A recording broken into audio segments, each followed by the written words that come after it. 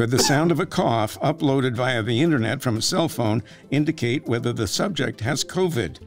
What about a sustained vocalization? Uh,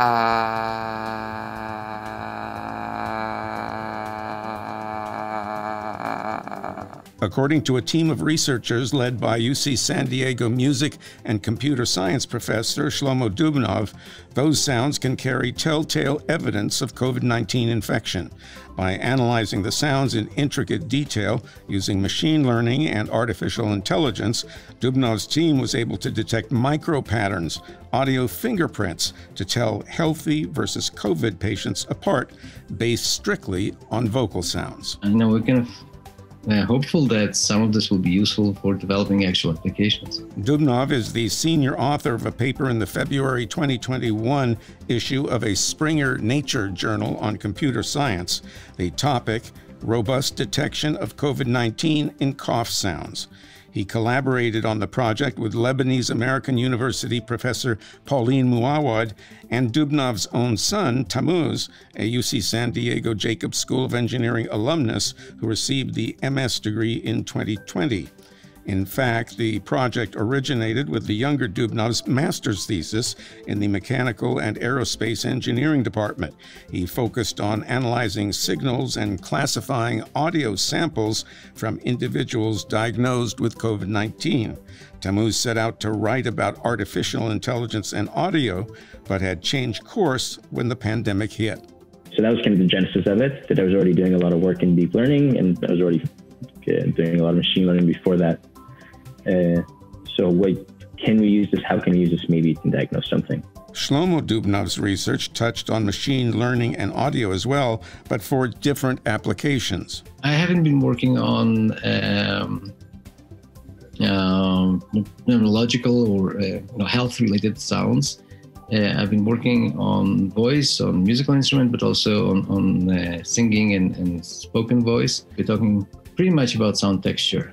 Uh, it's kind of the little details of sound, the repetition of small sound elements. The professor has developed a raft of methods for parsing sounds in minute detail. We kind of had these techniques, uh, I would say, uh, as part of our research toolkit. So it was sort of uh, a leap of faith to see if we can actually discriminate between COVID and non COVID. Using a database of self submitted audio samples from the Carnegie Mellon University led Corona Voice Detect project, the Dubnovs joined forces to analyze thousands of samples from healthy subjects as well as a smaller number from subjects with COVID.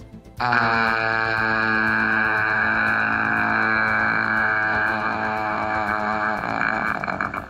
So we extract a, a, lot of information from these sounds, and part of the thing is really tuning to the fine-grained information, because what we're looking at are uh, more of the artifacts or little deviations in, in the sound.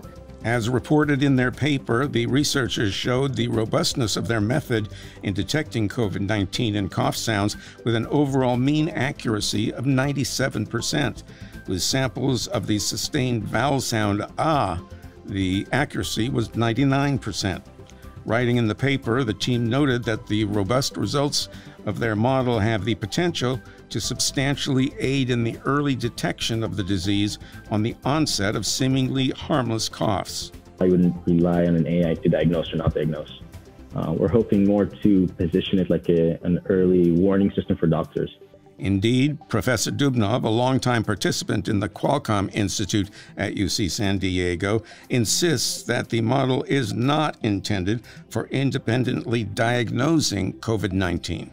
One disclaimer is that um, even though we tested this on diagnostics and the classification was, you know, the final kind of outcome uh, of the paper, um, we are not planning really to pursue diagnostic techniques. In addition, Dubnov thinks the model could be a non invasive way to do community health surveillance, for example, by analyzing vocal sounds from microphone arrays in public spaces.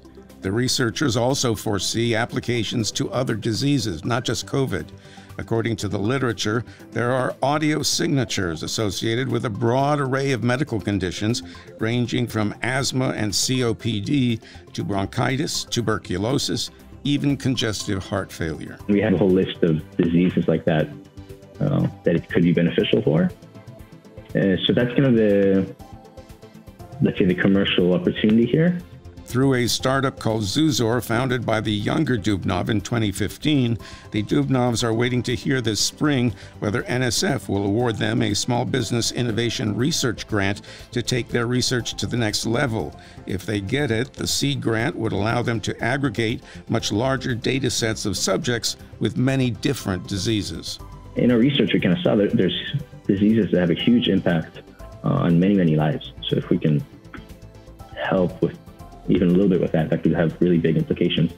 The data would then allow them to train machine learning models to do much deeper feature extraction that could make it possible to differentiate cough sounds across many different diseases, even long after the current pandemic recedes.